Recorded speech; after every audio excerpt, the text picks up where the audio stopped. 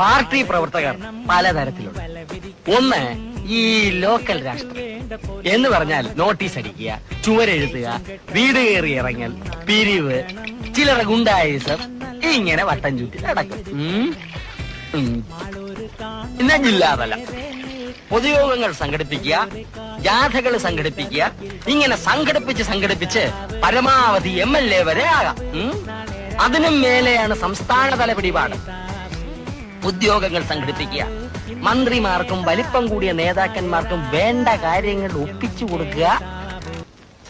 അതിലും മേലെയാണ് കൃഷ്ണപിള്ളേ.